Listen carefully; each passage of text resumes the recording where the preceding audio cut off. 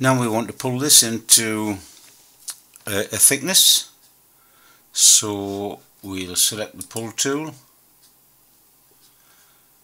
and what's this. We can't seem to select this as a surface.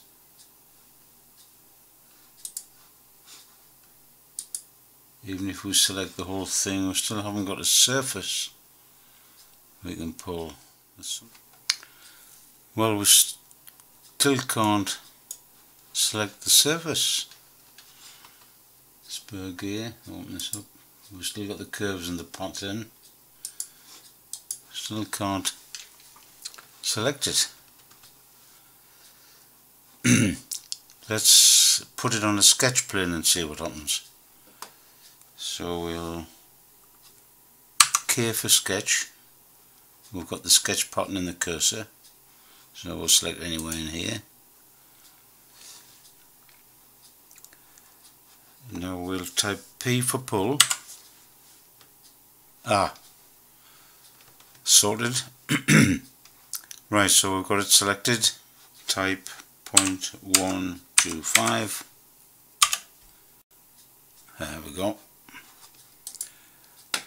And there we have our spur gear. Oh might as well make it a nice shiny steel colour. Oh we got to choose the solid here first of course. Light grey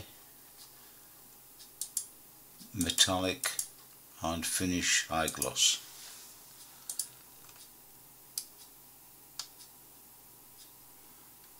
looks nice. One final thing we'll put a a nice hole through the middle.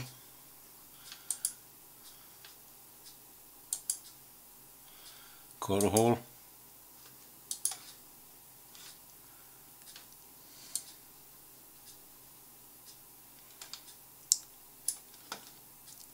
It's a bit sluggish on account I've got the resolution high and the quality high so it's a little bit sluggish with the graphics.